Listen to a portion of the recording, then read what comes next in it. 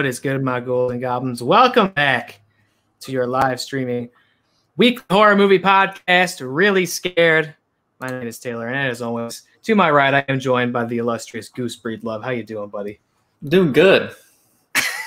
Started a gang today. Started a gang, got a little fight, claimed a little bit of turf, perhaps. Yeah. I, I uh, declared how much I hate everything. I heard you don't give a shit about anything. No, I don't give a shit about it. Welcome. Thank you for watching First School in the chat right off the bat. Thank you so much. And lots of love and creepy vibes right back at you. The feelings are mutual. Thank you so much for watching First School, favorite goal. Always love to see you. Um, thank you, everybody, for tuning in, whether it's live or listening after the fact, to another edition of Reely Scared in our new 2021 format. I'm having so much fun uh, mixing up the way that we are and a lot of different movies to talk about this month. It's now the third. We're three for three movies I've not seen prior to this show. Uh, I, I got a I got a feeling it's the same for you, Connor. Yeah, I've never seen any of these. It's it's funny though because um, the one we're talking about today is actually an Ohio film. You know what? I actually didn't know that. Wow, in really? Dayton. Yeah. Oh, a little Dayton joint. Oh, Yeah. perfect. Putting it on. Putting it on for our home state. Fantastic. Um, if, if you haven't tuned into our new 2021 format before, uh, it looks a little different, sounds a little different than what you might be used to here on Reely Scared. Every single week, we are joined by a special guest. Uh, could be anybody. Could be filmmakers, artists, writers, YouTubers, podcasters, anything under the sun. And they choose one horror film and they can come at it from any angle their favorite movie their first horror movie uh, whatever whatever comes to mind when i say pick a horror movie that's what we're going to talk about and uh, this week we're going to be talking to director Jacob Horne who picked one of his favorite b movies uh, the exploitation legend deadbeat at dawn again i had not seen this prior i wasn't even familiar with uh, Jim Van Bebber uh, prior to this as well so this has been a revelation a lesson learned uh, this week. I'm very excited to talk about this movie. Yeah. Um, I'm so excited. I'm, I'm, this movie. We'll get into it, but I'm so excited to talk about this movie. I'm excited for you because the last two movies, you know, we've come into this, you kind of entered and been like, you know, I'm not sure how I feel about them or what I feel about them. I'm not sure I'll have much to say. And like, you find your way along the episode, but this one, you're coming in Off guns rip, blazing. off the rip, like 10 minutes in, I was like, I fucking love this. Oh, fantastic. I'm excited for you. Um, real quick, before we bring Jacob in here, we talk about the film. You know, we got to do the regular haunted housekeeping, so to speak.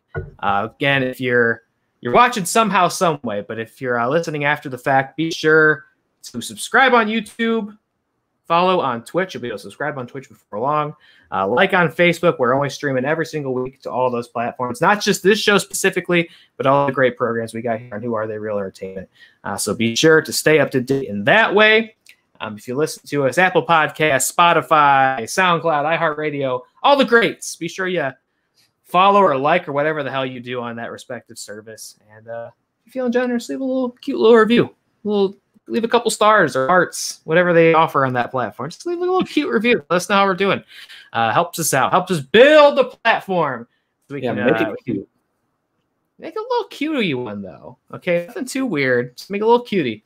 And then, of course, always, always one of the number one ways to support Reely Scared is, of course, to head on over to wretchedapparel.com, our wonderful, wonderful sponsor. You can see we're both wearing our Wretched Apparel, and that's uh that's not a that's not a bit. Didn't plan that.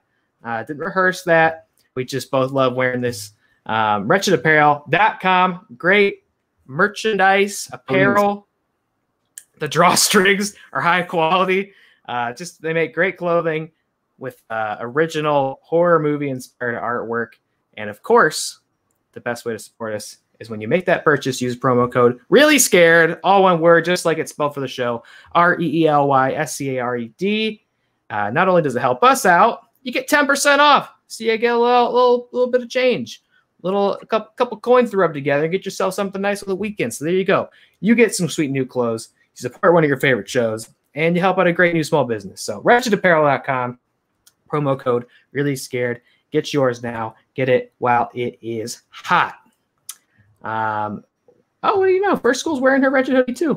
No, Well, she's know, if watching it. it. It's haunted. She's keeping an eye on it. If you sure look really it's not doing close, Shit. if you kind of squint your peepers, you can even see First School's wearing her Wretched Apparel hoodie in the profile picture on Twitch. If you squint real close, that's not great for the audio listeners. You have to tune in live to get bits like that. Uh, love to see it. wretchedapparel.com, promo code reely scared. Check it out. You won't be disappointed. Oh man, a goose. What do say we get this show on the road? What do you think? Let's do it. All right, let's bring our special guest in here. Very excited to talk to. I'm very excited to talk about this film. The director of new short film Neutrals, Jacob Horne. Woohoo! Hello. Thank you. Thank you. This wondrous applause is overwhelming. Yes. Yeah. Uh, I guess a little bit of intro. I'm Jacob Horne. I'm a uh, Michigan based filmmaker. And yeah, I have a short film that came out called Neutrals. If you want to follow it, uh, it's at Neutrals Film on Instagram and Facebook. And it's very similar to Deadbeat at Dawn.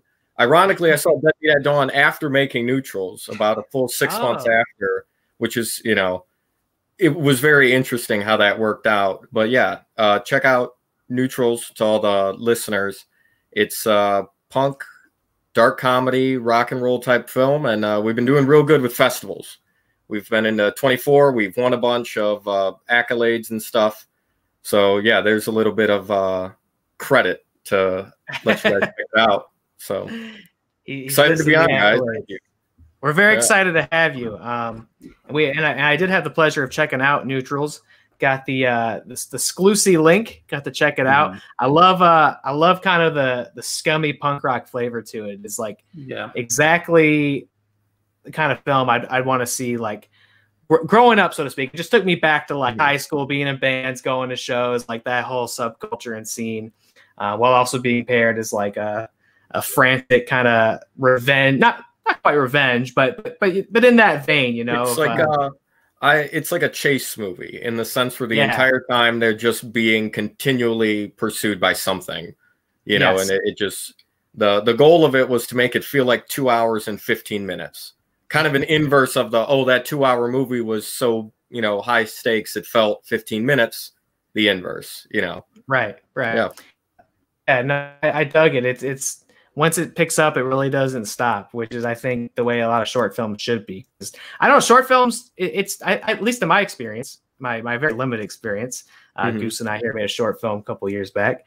Uh, it, it can be tough though to, um, especially when you do a longer one. You know, if you're not just going Mhm. sticking in that three to five minute runtime, uh, it can really be hard to keep something a little bit longer engaging. Uh, it's Mhm. definitely a challenge, and I think Neutrals certainly does it. Doesn't doesn't slow down. You know, doesn't lose steam. Yeah, Uh, we De- kept trying to definitely throw shit at them. Yeah, Yeah. Yeah. Yep. Yeah, definitely a fun film. And you already Mhm. got a new follower over on, on Instagram, I believe, checking out Neutrals film. oh, So thank you. uh, fantastic. Uh, and can't wait for more people to be able to see that, whether in these these festivals. I Mhm. imagine most of them are, at least in respect to this year, probably virtual festivals. Yeah, uh, a lot of them, even the ones that were physical, kind of took a shift to virtual, and there were a, a few that had done that. And you know, I totally understand it why it had to happen, and even then, it Yeah. enabled.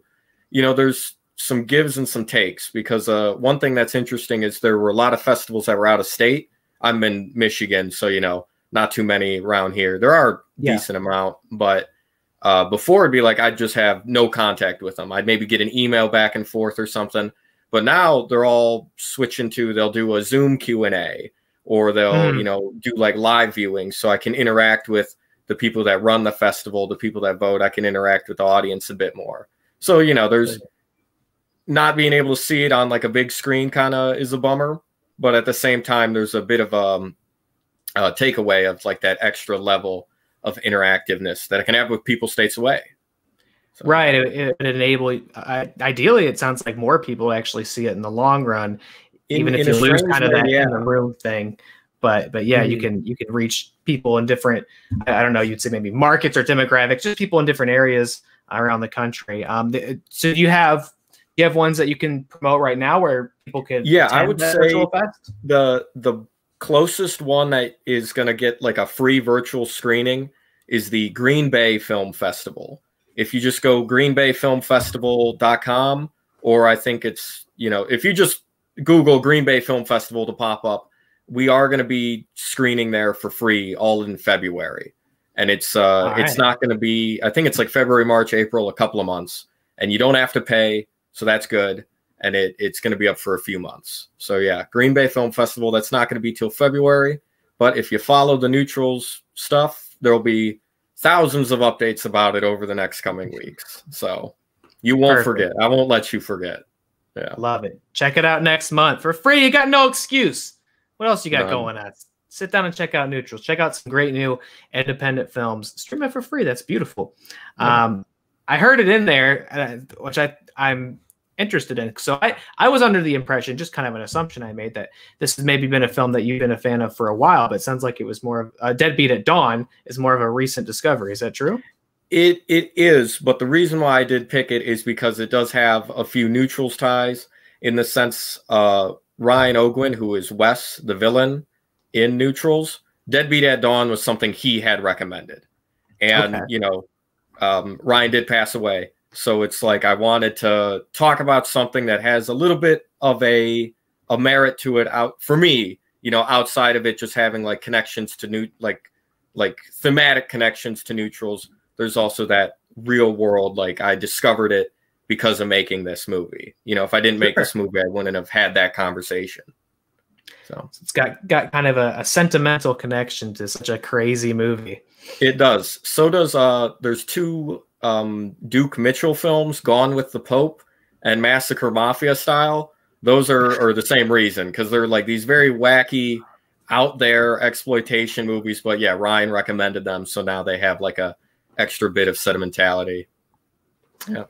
Would you would you say generally speaking is that something you particularly enjoy like the B movies, exploitation movies, the sort of low budget, just just violent, gross, weird. Oh yeah, definitely. I mean, I like you know all types of movies. As you can see, my Marvel Funko Pops wrong side.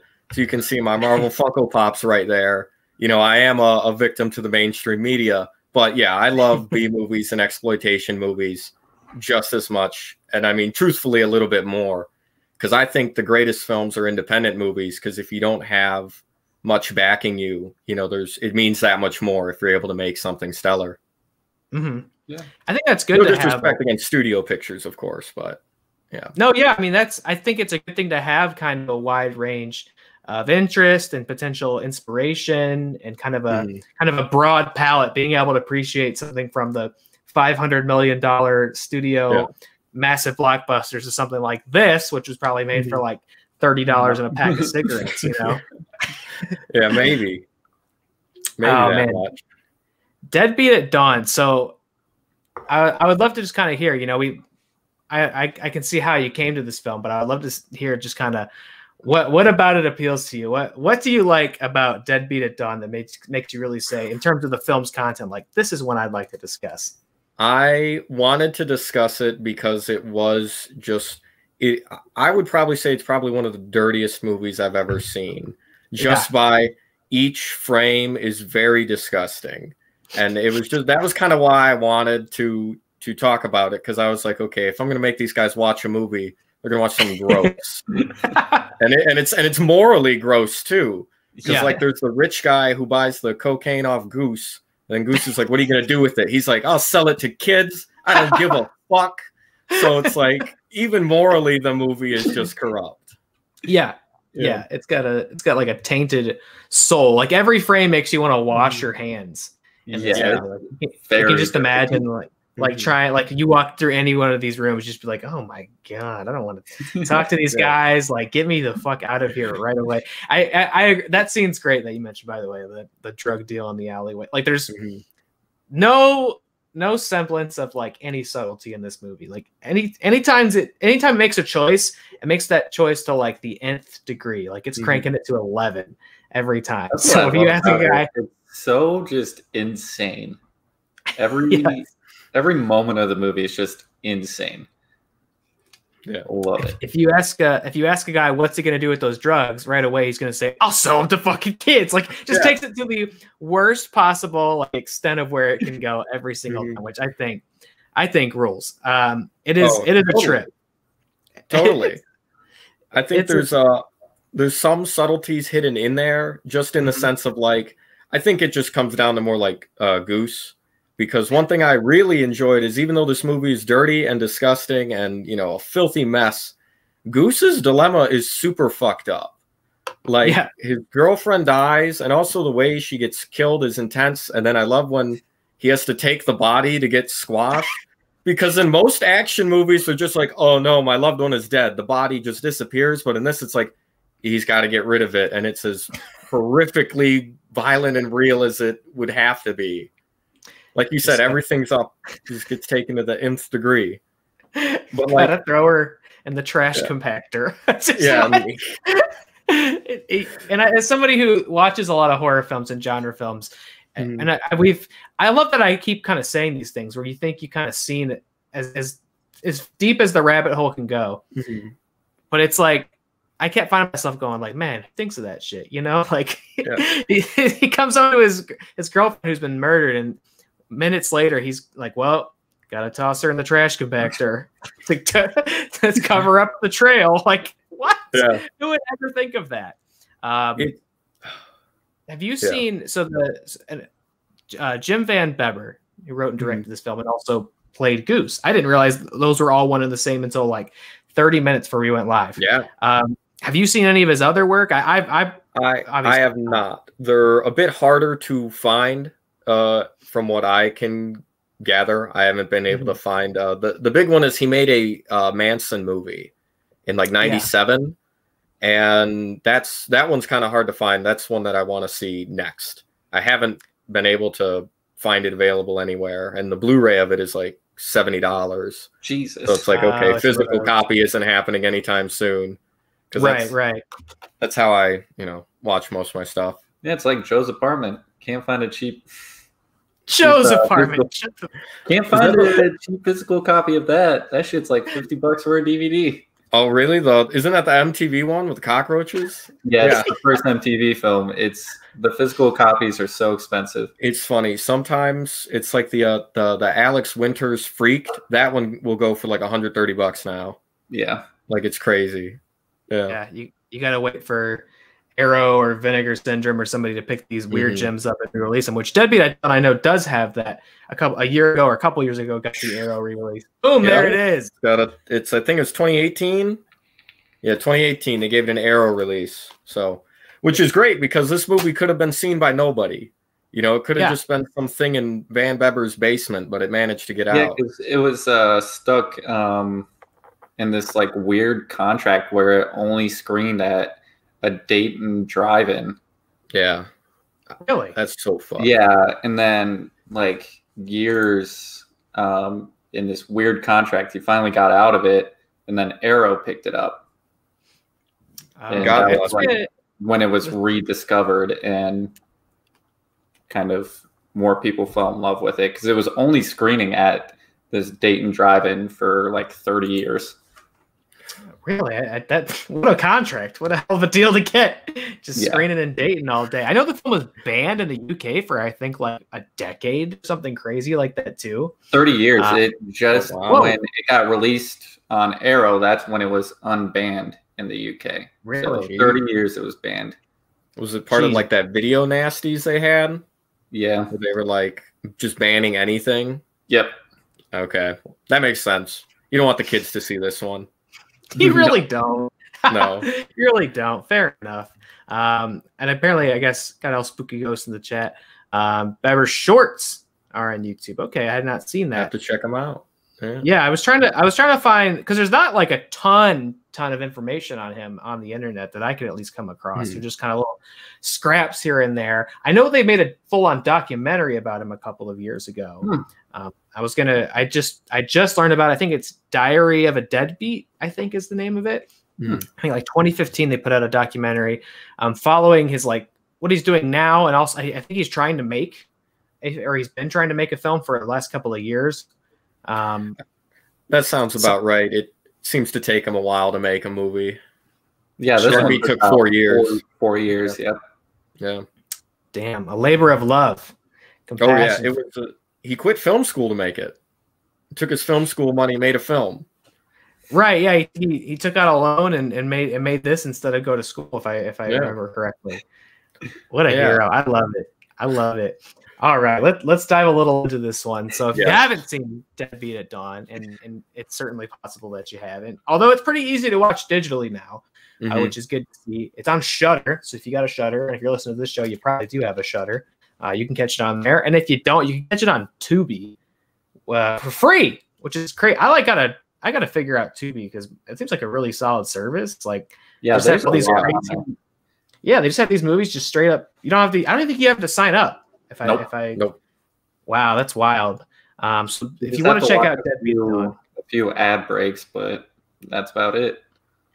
Some movies need an ad break like this perhaps. You just need a little bit of a, a moment to get up and stretch your legs and just kind of decompress put on some deodorant maybe or something like that. Um, yeah. yeah yeah wash your hands a couple times.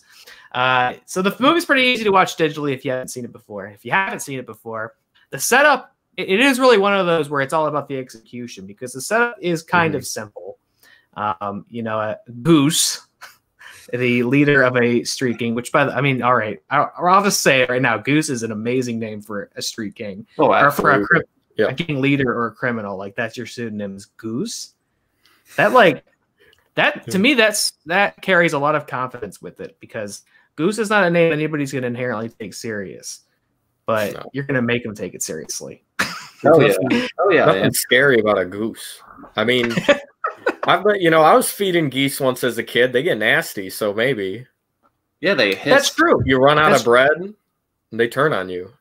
That's true, and they really don't like when you come into their territory. That's when they start getting a little volatile. So Oh, maybe there's maybe it's I wonder if there's a fun bit in more going on. Wordplay. Yeah, Every every detail has purpose in this film. it was, it was all accounted for. The leader of the Ravens, his Yes. uh, street street gang, whose rivals are shoot. What are the what's the other gang called? Spiders, right? The spiders. Yeah, I think so. I think it's SPY. Oh, let's see.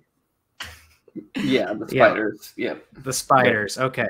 Um, and a and a never-ending turf war, I guess for Dayton, Ohio, uh, against the spiders. And Goose has a girlfriend. She wants him to get out of the game. She's got kind of this metaphysical thing going on. Mhm. Um, she she's disappointed in him and the treachery his lifestyle brings on them all the time, and convinces him to get out, get out of the gang, Goose, and you and I will go off and live happily ever after. And, and he does. And the gangs don't like you. You can't get out. You can't get out of that lifestyle. It's gonna pull you right back in. Um, and the spiders, the spiders come after him since he's no longer he's no longer in the rival gang. They come after him. He doesn't have the security or the support of the Ravens, and they kill his girlfriend, which sends him on a downward spiral and eventually landing in a quest for revenge. That's kind of the again, kind of a basic setup, you know. Guy's girlfriend gets killed, he wants revenge. There's a lot of movies like that. Yeah. But it that it exists in this weird nightmarish hellscape. this this crazy 80s exploitation version of like rural Ohio. I think sets it apart. And then it does have this really kind of horror flavor to it. Some I know people would Mhm. probably, you know, we're a horror show. People would probably come to this and think like, oh, this doesn't seem, really seem like a horror movie, but it, it kind of is in the execution of it, especially towards the end. Yep. Um, when you I did want getting, to uh, bring Yeah. that up. Yeah, because the the I, I would say there's a lot of horror elements. Not enough to you know wouldn't brand this a full on horror, but if you were to list the genres, it'd be like three or four. And it, I think it's down to the ending with uh, that dream sequence that gets pretty horrifying in the cemetery and just so Yeah, yeah. violent. It's like, what did they use for that brain? Watching it again this time, I was like, what fucking cow brain, pig brain, something they got from the Yeah. butcher shop. looks so nasty. And then also, I think there's just like the personal horror that, like, putting yourself into that mindset of what if you do find your loved one like brutally murdered like that. And I like that Yeah. Deadbeat spends like 30 minutes of just Goose being a complete wreck about it. Because in, Yeah. in action movies, normally it's, oh, my girlfriend's killed, time to kill these guys. He spends like weeks at a time just broke, drunk, fighting with his dad. Like, you know, Yeah. not not not nothing Arnold Schwarzenegger would do on a revenge mission. You know, no, no. Um, it's it's true. Yeah, he when he finds her dead, you know, he, he throws her in a trash compactor and then just wanders around for days and some Yeah. sort of insane depression bender, running into like the worst people you've ever met every single day.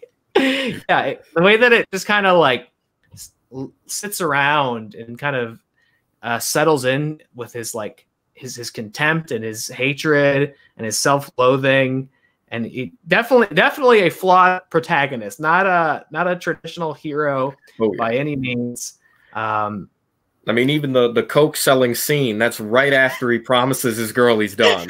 He's like, I'm done. I'm not doing that shit no more. yeah and in i mean considering that yes she is murdered by his rival gang members but her, essentially her dying wish is for goose to stop being in the life of crime and of course he, he just gets suckered right back into it and keeps going. So there, there's something there with her insistence that he you know oh, he's just a fuck up. You know he's a deadbeat. He does get Yeah. right back into that lifestyle even after she's dead. Does not Mhm. does not really have the nuance or self-awareness to go like would it be better to honor her wishes by just skipping town and not engaging with this anymore? He's like nah i'm gonna i'm gonna rip a man's throat out with my bare Yeah. hands. That's the It's- life i want to lead. There, there is an irony in that that he does just go into it more than ever, and he just goes on a essentially a murder spree by the end of the movie. Yeah. You know, it's like she would not have liked that at all. how do you funny. guys like the uh the violence in this movie because my god It, it starts out really violent. I mean, Yeah. you have that.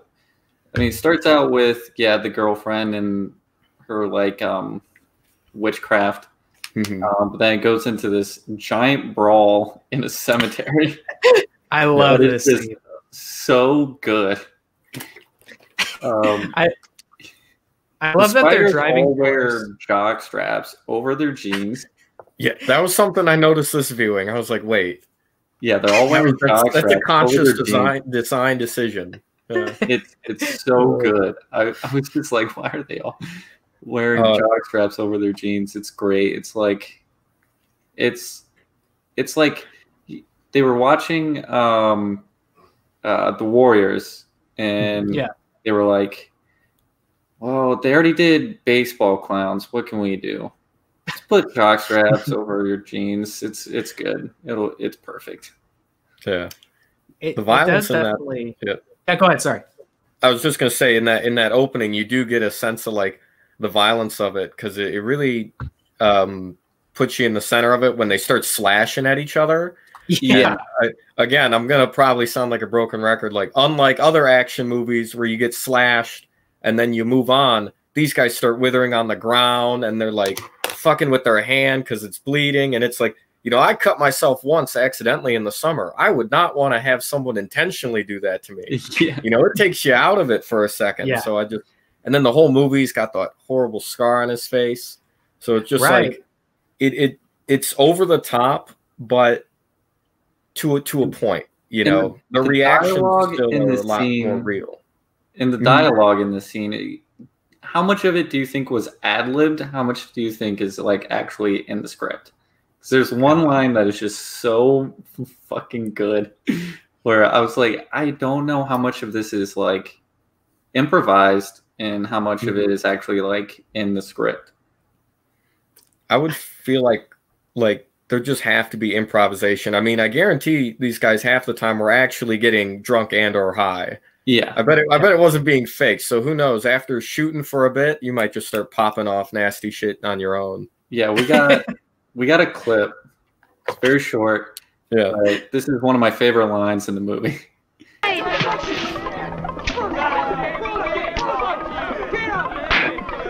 Fuck your noise. you like that one huh? That's that's the moment where I was like, "Oh, I love this movie." I love this movie's just interpretation of gangs and like how Yeah. they function and what they want and what they look like. Because no, I agree. There's definitely a parallel to draw between this and the Warriors.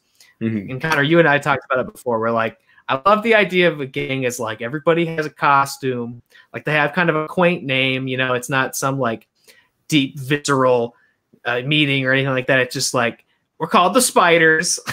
we wear jock straps outside our pants and like we do our someone masks. like the like Danny probably just put a jock strap over his jeans, and he was like, "You all have to do it now too. We're the spiders. We're a uniformed. This is our thing.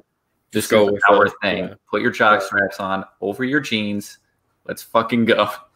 and that they're driving for it. All, all I can really tell that they want, you know, they're they're fighting over turf. They want they want territory. And I just love that hmm. the territory in this scene that they're fighting over is a cemetery. It's like once you get it, what you gonna do in there? You just gonna hang out? Like You know? what- Yeah. what's what what's the motive? I guess we're just making an expansion. Like take take it all until you own all of it, and your request won't be complete until You- then. But you got to get the cemetery to then get the street next to the cemetery to get the block across the street. You know, it's a big trickle down. Fighting over land in Dayton. I mean, that's the other great thing. I love that you Yeah. told me it was in Dayton because that's a really funny place to fight over with, with Yeah. knives. It's like there's other places, guys. Yeah, but Yeah, Jim Van Bebber didn't live there, so so it was I- Dayton. I, I love the not only that there's a lot of knives in this, but I also love things like nunchucks showing Yeah. up mm-hmm. and the way I- that the I act. Yeah, I wrote Yeah. in my notes like any good independent movie, there is a nunchuck alone training scene, as any good independent movie needs or B movie needs. Yeah. but the the cemetery scene is basically what causes his um his girlfriend to be like, you you need to get you need to get out. He almost Yeah, 'cause died. he gets cut up He really bad. did. He got Yeah. fucked up. Um, and yeah, so that was like the incident that she was like, "You gotta get out. I can't do Oh, let this." us let us also not forget the great um, exploding hand in the cemetery because that part's Oh Yeah. yeah. when he reaches for the gun Yeah. and then he just shoots his hand off and it explodes. That's insane. great kind of you know yeah it's low budget but it's a lot of great uh, ways to film the violence and still even Mhm. even though it is you know low budget and it's buckets of fake blood and such like it really does make you kind of wince to watch it. Uh, and i think part of it the, the grand scheme of it like you said uh, jacob where you kind of have to sit in in, in goose's um, his pain and his anxiety following the death of his girlfriend even just seeing how people react immediately to things like their hands exploding like Yeah. nobody nobody comes off as cool or like tough in this like everybody's the- the just guy who gets screaming and hand- crying. Yeah, the Yeah. guy who gets his hand blown off, like you see, like three guys have to like drag him away because like he, he's not walking himself after this. So it's Yeah. like, Jesus. and they just howl they're just like Mm-hmm. crying and wailing in pain anytime something happens they're like it's just like they're not cool they're not action here they're just people and one guy just got stabbed in the head he's just falling Yeah. down crying like it, it's a it's a very it's it the word gritty gets thrown around a lot i think in movies these days but this Mhm. is truly if you had to like Yeah. if you had to get a textbook definition of what a gritty movie looks like deadbeat at dawn because Oh yeah. yeah, fuck. You just feel it. You just kind of cringe Mm-hmm. every time something happens to somebody. Um, but yeah, Connor, you set it up. The, Goose is Goose is convinced to leave the life of crime, but his girlfriend, correct? Yeah. But he has to do one more one more sale to get some money to you know be comfortable. Um, and, and during that time, we're introduced to um, what was it, Bone Crusher? Was that his name? Oh my god, Oh. yeah. Bone They- they Crusher, knew. and then the other guy. Um, They He's both just had Keith, names right? that sound like Transformers. Does, does he have a crazy name? The leader, I think the leader's just Keith, isn't it? Did I have that No, right? thought leader the leader was just Danny. Yeah. yeah, Oh, but then you have Bone Crusher, and then the guy Yes. he's always with. I can't remember his name. That might be Keith. Um, but yeah, they're tasked with um, basically. Danny was like, um, "You're gonna kill his girlfriend," um, just to Oh. kind of get at him. And in Um, that scene where he tells him to kill his girlfriend, uh, doesn't Danny's girlfriend come down the stairs and is like, "Baby, I'm pregnant," and then he just punches her, yeah, just and punches. then the scene ends. yeah, That's how they resolve the issue. And yeah, then she's yeah, not that never seen comes again. back. Yeah. Never comes back. and then Every Bone Crusher, I he hates everything. sure does. oh yeah. he he spends a lot of time just talking about how much he fucking hates everything and just does not give a shit. Hates So- all the people. All the people in the world. he he lets he lets uh um he lets his girlfriend know. He lets Goose's girlfriend know right before um they brutally murder her. Just that he hates everything. Um, Mhm. and it's a very strange um, line too. Um, I don't know. Um, I'll, I'll play the clip. Let's see if anybody can decipher this for me. I never let the soft inner flesh of slow, painful death. I've seen things without eyes. I hate everything. He's seen things without eyes. He hates everything. I was so blown away. Like the, the dialogue in this movie just makes me love it even more because I have no idea what that means. I couldn't tell you. I love that you picked that out, Connor, because I I did not hear that when I watched it. I, I just it just washed over me. I was so mm-hmm. enthralled with what was happening on the screen. I totally missed. Yeah, and th- that's a great point. Your question earlier of like, how much of this do you think was in a script or were people just winging it? It's like I don't know where one creates a line. I see things without eyes because that that certainly doesn't come back or And doesn't get how are they correlated? Like, why does seeing things without eyes correlate to hating everything? He's just he's It's- been out there. It's the movie's full of those. Like, okay, it's great. It's great. Yeah. Bone I- Crusher in general is an amazing character. First of all, uh, unlike Goose, Bone Crusher's got to put it all up on Front Street. He's got to let you know he's not to be messed around with. So his Mhm. name, Bone Crusher, great pick. Love that. Uh, and he is yeah, his he's really on brand at all times. He is just always kind of staring off into space, telling you how much he hates everything. Like like truly just there's just not much there's not any, nobody really is home up here. He's just kind of ready for murder. He will tell you at a moment's notice how much he hates everything and how except how much he loves murder. yes, loves That's the one thing he likes. Yeah. murder. There's nothing like looking into the eyes of somebody as you murder them. It just that, and that's that's again that's kind of the level that the dialogue is always on. It's just we're always we're up here. We're never gonna really bring it Yeah. back down and kind of think about it. We're just at max capacity every time two characters are talking in this film, uh, and, that, and that, that's all there really is to Bone Crusher. Is he just loves to kill, loves to hate, and he's uh, just going on his weird neurotic rants at all times. Um, so yeah, he gets tasked once Goose is out of the game. He does that drug deal, which I I do think is an interesting scene because I expected that to come back around in some way. Like, who are those people?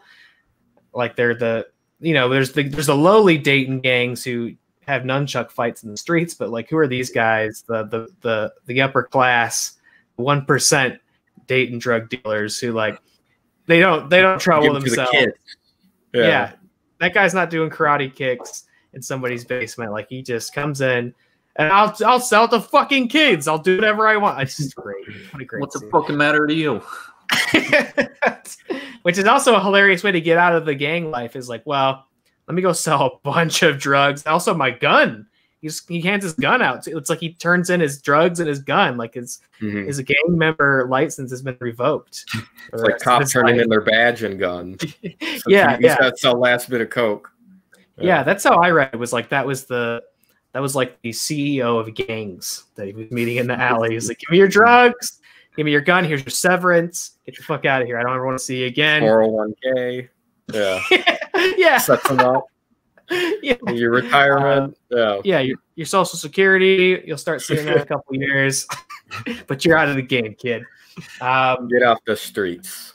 it's, and I I mean, it's true. His inability to really, he says he's going to get out of it, but his inability to do so is also what ends up getting his girlfriend killed because while he's doing that, that's when Bone Crusher and friends uh, visit her. And Yep. again, again, the metaphysical kind of influence on her character, not, not expanded on too deeply. Um, she's playing with a Ouija board when they come over. Uh, she's locked up. She's, she's doing some sort of some sort of loose rendition of perhaps fortune telling or something like that. She And- she asked it if uh, Goose is gonna die, and then if she's Yeah. gonna die. Yeah. And I don't know if that's how Ouija board works, but I don't think so. I mean, if we're asking strictly yes and no questions and you ask, Am I going to die? I mean, it's definitely going to say yes. You know, it's That's just, true.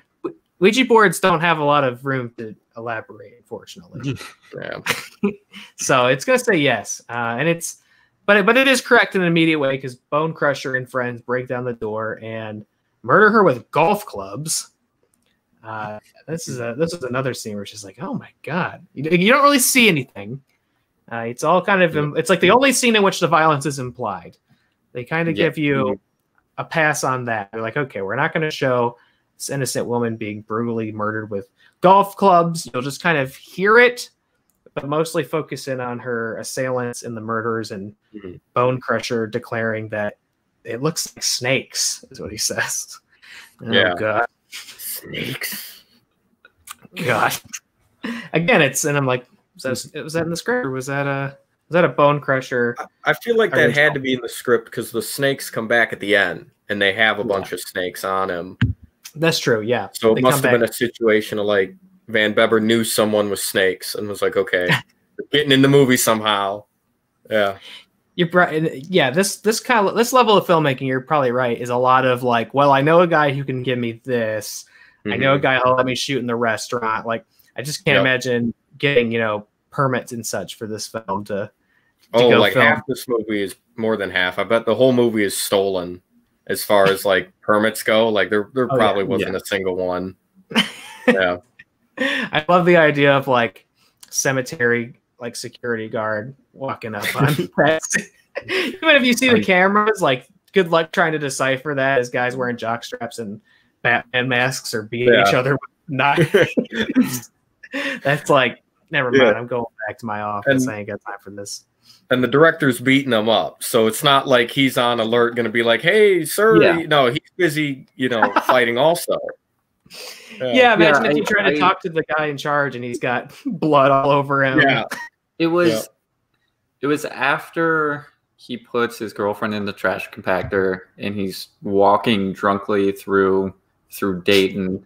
Um, that's when I was like, "Oh, this is guerrilla filmmaking," because you can Mhm. see the people in the background just like looking. yeah, Back the doing those, camera. like, yeah. They're just like, "The fuck?" okay, yeah, This dude's covered in blood, and they're just like, whoever they're with, they're like slapping them, like, "Do you see this?" And then they just look directly. They look at him, and then directly into the camera, and I'm just like, "Oh, this is guerrilla." Just Oh. another day in Dayton, baby. yeah. You gotta love it though. There's a there's a real spirit in that. You know? Yeah. It, Yeah. It's a great point. I'm always fascinated, just generally speaking, by films in which the director is also in the film, starring in the film. I can't, mm-hmm. I can't imagine the challenge of directing a movie, like going in front of the camera, doing your thing, like setting up the shot and then running around and like. Because I bet you got to imagine that's kind of what this was, you know. Obviously, on a bigger budget yeah. film, you, know, you set up the shot, but you know you have your team and your crew. You can trust that it's going to get filmed correctly and the performance is going to be there even though you are in the scene but like i can't ima- imagine this is like he's throwing it on the tripod or he's, he's throwing the camera over to this guy Mhm. and he's going to run over and do his thing uh, and obviously it's in the 80s so it's not like a easy digital playback or anything Yeah, there's no monitor.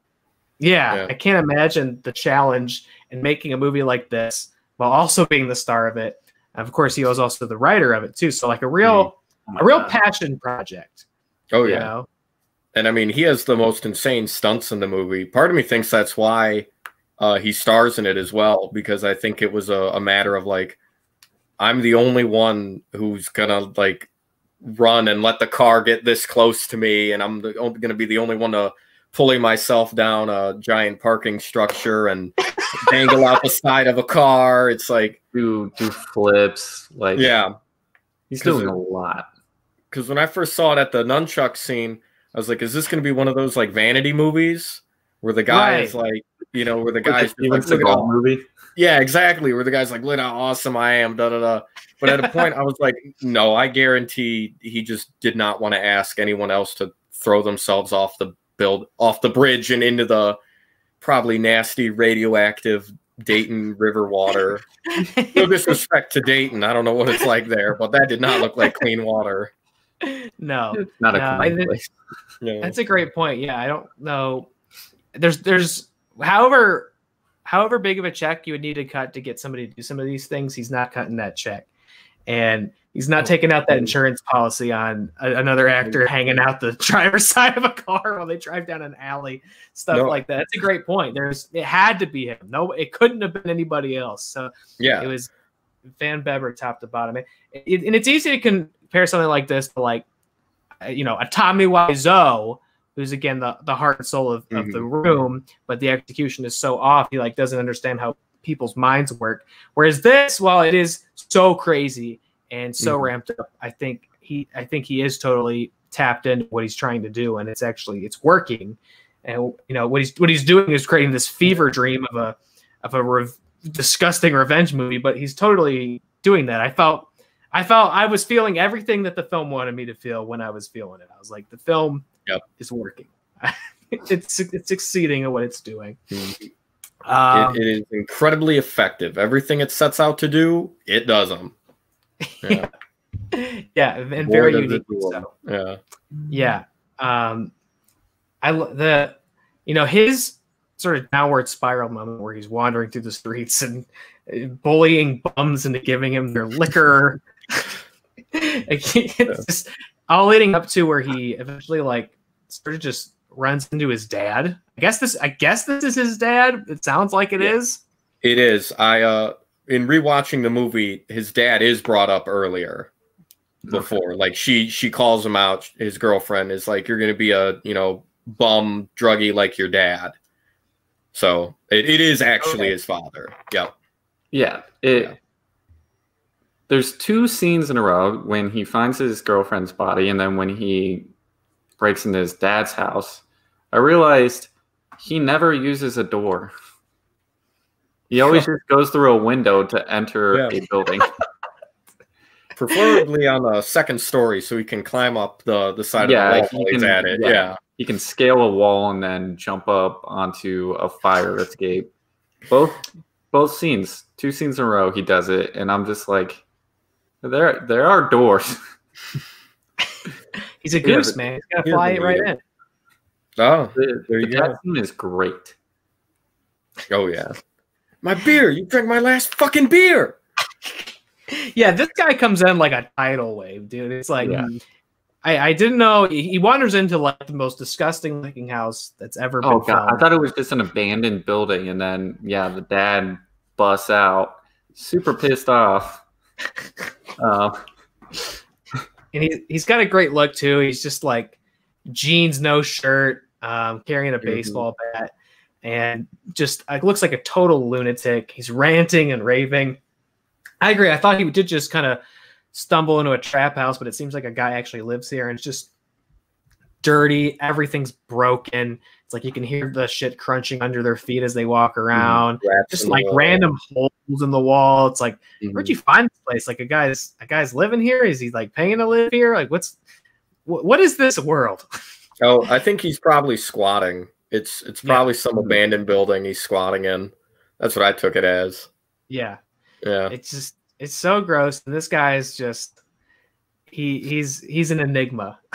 Mm-hmm. Constantly like paranoid rantings about his beer. Where is it? He needs money for it. Uh, you, you're you you're gonna betray me. You'll turn on me. Like I know all the the You're top level them. secrets. Yeah. and Yeah, then, yeah. and then he sees a rat like Mhm. climb into one of the holes in the walls, and the sound effects and the music during this scene is insane. It's Yeah. like some whimsical like cartoon music. I, I was Yeah. so just blown away by it. I was just like, Like- what the fuck is going on?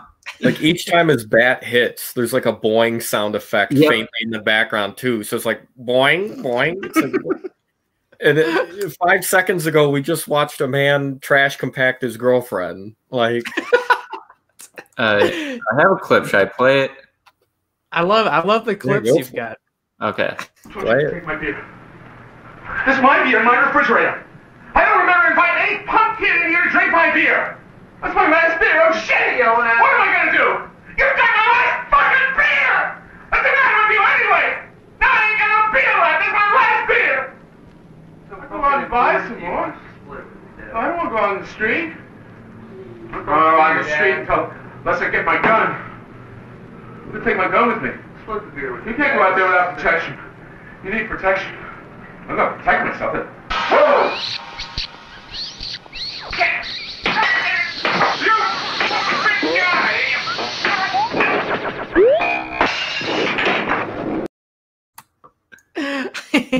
Oh my god. Yeah, you can hear Yeah. the boing. Yeah, it's perfect. Uh, Yeah, I want to. I want to be a fly on the wall in that editing room, Yeah. and they're like, "We need something. What is it?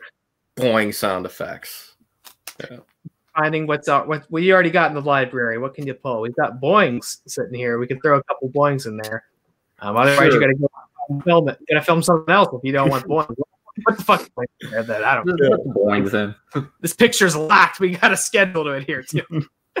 uh, yeah, I, I great um great note for the music by the way because the music is so strange. Mhm. I don't even know what I would compare like for the whole film. I don't even know what I compare it to. It's just kind of this weird ambient noise. Yeah, I wouldn't. You know, I'm not too much of a musician, but I couldn't even begin to like guess what it was made on. You know, like most Yeah. of the time, it's like I could kind of figure what that instrument is, but it's like, is this some type of synthesizer deal? Is this some? I, I don't know. Like, you know, I think there's one instance of a rock song, but that's it. The rest is that kind Yeah. of weird ambient Yeah. clicks and clacks, and I don't. Yeah, help Yeah, with the mood. It was um when um the the rival gang basically takes him in and is like, "You're gonna work for us now." Mhm. Um, we're because the setup is um they are going to rob an armored truck. the big heist. Yeah, and they're like, "You're not le- you're you're back in the game. You're gonna help us steal this armored truck, or we're gonna kill you." They literally yank him out like mid suicide attempt, Yeah, Yeah, where he's just strung out because because yeah, he his dad his, his dad you know takes the beer money ends up buying heroin, shoots Mhm. up, which is also just even in execution of that a, a really revolting and just Oh, it's- Oh yeah, it's Yeah, just no, the- like it's in a bathroom and like blood splurts out on the wall because he misses the vein and just ugh, very gross. yeah, it's just makes you ugh, just, you just want to rinse off every it's, his, every it's, five it's minutes. his toes too. That's what makes it worse. He- It's his toes, which also implies that this ain't good anymore. So it's like Jesus, Right. Jesus, Right. Dad. Dad's been at it a while. Yeah, And, and then and then to live up to his girlfriend's prediction, you know, he well this isn't working, so he wanders back out into the street for however Mhm. long, and again just running into uh, strange characters. He goes to that bar where he just becomes like Oh, a, yeah. he's just like Mhm. harassing a woman again, like not not a guy who I get you can you can feel bad from the respect that his girlfriend's been murdered, but still not like a not a traditional hero, not a guy that you like Oh. aspire to be anything like. He's harassing women. He's, he's getting he's drunk. Yep. Eventually, it, it- does seem they don't go into it too deep, but it seems that he does actually start taking up like narcotics. You get a very quick shot of Mm-hmm. him like tying off the arm so he can shoot up, and then he again wanders into an alleyway ready to kill himself. A, a, a bum there is like, "Whoa, man, what's the gun for?" Oh, I'm gonna blow my own brains out. He's like, "Oh, all right, go on then." But you get that quick little cut of him doing it too, which I love that. That I had to rewind it when I first watched it because I was just like, so it's like maybe 24 frames in total, but like Yeah. his head splits for that just split second. Little things like that just add a personality. We didn't need to see that horrific violence, but thank you. right. Yeah. yeah, yeah, and it, it kind of initially scared the shit out of me because I was like, Mhm. you know, within that very brief moment, I had time to think like, oh my god, he's just dead. What's the rest of Yeah. this movie? And then before you, I can think about it anymore, we cut back. Yeah, it was just a, Mhm. just kind of a hypothetical, showing you what he wants to do but never gets to do, because yes, he's approached by his former uh, colleague in the Ravens. Uh, So is this? Is I, I keep making I one of them's Danny and one of them's Keith. I, I can't remember which one is the actual the new leader of the Ravens, the guy who like tells him, you know, you're you can't you're not gonna ever make it out of here. This is never gonna work. You're gonna lead the gangs. And the guy who pulls him back in, and also makes sure to clarify, like, I don't give a shit about you. Uh, you could have died for all I care, but we need you to for the big score, the big job here. Mm. Which I always which I thought was peculiar because I didn't I didn't see why exactly they needed Goose so particularly for the job. Like he doesn't strike you as a criminal mastermind where it's like, all right. He's like, all right, boys, gather around. And like gets the blueprints up here. Yeah. We got a big job coming up. He's just like another asshole, you know? I mean, I, I guess he was the one who lowered himself down and then threw the the star thing. So I guess who knows? Maybe everyone else was no good with throwing items. I don't. You could have just shot the guy, but That's what I like up until the till the big kind of face off between the gangs at the, towards the end. Like guns isn't really a thing for them. They're all these strange melee mm-hmm. weapons. You just I'm glad you Yeah, mentioned there's it. great use of ninja stars. The ninja Yes, stars. The ninja stars. And I, I again I love that like mall ninja interpretation of gangs where it's like they got nunchucks, they got shuriken, they got mm-hmm. blunt objects. This is what it's like to be in a gang. You have you have you have ninja weapons you bought at the mall, and you're walking around town with them in your belt loop. Yeah. And you see a guy over there, he's getting a shuriken in his shoulder. Like I love that interpretation of gang life. It's like what it's like what 90s like suburbanite parents would picture like their kid got in the gang It's going out on the Mhm. streets getting in a turf fight you know Yep. Buying You're right, ninja that's stars at the fair. yes exactly yeah Like Get your those fair switchblade. that sell knives and nunchucks and ninja stars. yeah i mean that that's a version of gang life where i'm like okay i can see how you get swept up in this it's quite exciting Yeah. Matching outfits, ninja stars, nunchucks, like not a bad life. No, Yeah. I mean Not- until your throat gets ripped out, but We'll get Yeah. there. We'll get to the throat ripping. yeah. Oh my god, that's hell of a. s- Um, yeah, so then in the big heist, and now of course in Goose's absence, uh, the two gangs have called a truce and merged. So they're all fighting on the same side, but of course the leader, former leader of the Spiders, um, Goose knows deep down in his in his soul that th- these are the people who targeted his girlfriend, and that's why she's dead. So as soon as he sees the uh, the leader of the Spiders kind of waltz in with this shit eating on his face, he it's like he snaps out of his drug fueled daze all of a sudden. He's he, he's alert and he's he's trying to strangle this man and kill him immediately, but he's constantly being pulled back by his former his former gang members, his former peers who don't believe nobody believes him, which is which is a shame. I don't think it seems that unreasonable that your girlfriend was murdered with golf clubs. It was probably the gangsters that don't like you very much. Although I guess nobody knows because he did throw her in a trash compactor. That's true. That is true. And also, it's like, yeah, got killed with golf clubs, and Bone Crusher continually has the golf club, like right here. It's like, I wonder who did it. Wonder He can also was. never never can shut up about it either. He loves talking about that. Uh, His brand Yeah. is murder. But they're, they're Hates playing the big heist.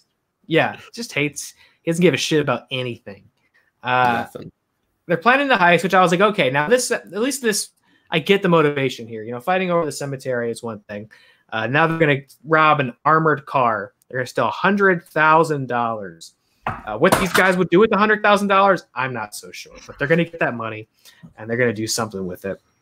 So Goose has to help plan them out, plan it out. All the while, he know he knows he just keeps getting in those confrontations with with the spiders and Bone Crusher specifically because he just knows Bone Crusher like pulls a snake out of nowhere, starts mocking him with it. Yeah.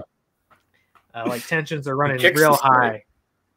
Yeah, yeah. There's a lot of good karate kicks, by the way, Yeah. too, from Goose.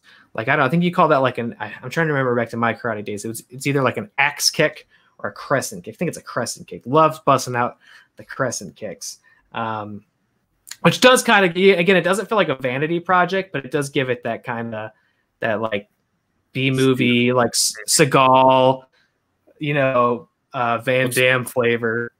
Seagal like- wishes he was Jim Van Bebber. Okay. All right. Can't yeah, do shit. I mean, yeah, I'll say this. At least he never, um, never did this to the point of like self embarrassment, like somebody like Seagal, you know, who just Yeah. keeps doing it and like, you know, is just meme to death. Like Van Bebber got in, he he, he showed everybody what he had, and then he's just kind of kept a low profile ever since. So I don't know who's got the stronger legacy. I don't know. I don't we'll know. see. Time will tell. Time will tell. Time will and, tell. And hopefully we haven't seen the last uh, Van Bebber film of all time either. Hopefully he does get to put something He's else still- in production. he's in stuff. I, I you know, I, I'll browse his IMDb, and he's like in local productions in like Ohio and other independent stuff as a cast member. So he must keep busy somehow. Yeah. The obvious escalation of this is somehow we have to get Jim Van Bebber on this show as a fellow, as fellow Ooh. Ohioans. We've got to get him on here somehow. I am I friends with him on Facebook, so maybe Oh, we'll run oh. across this. Yeah, Okay, He's I was just about to say. yeah. So I I, mean, just, I was just about to say. I bet he's not on social media anywhere, and I'm immediately proven wrong. So yeah. I mean, you know, I've never said anything to him or that. You know, I'm not gonna flood his DMs like I love your movies because I'm sure he gets it all the time. But Jim, Right. if you somehow are watching this, you know, let's make it happen. get at us. Yeah. Let's talk about this some more. Would love to. What a, what a fascinating person that'd be to talk to. Um, so they're getting ready for the gang war. Um, and I'm trying to think here, make sure I don't miss anything great. Um, they they're plotting it out. They, they execute it. I'm, I'm, I'm trying. I'm yeah. No, his his confrontation with Bone Crush and everybody all comes after the heist. So the, heist scene itself is also great. Um, terrible, terrible work on part of the armored truck drivers and security. They really blow Oh, this. Awful.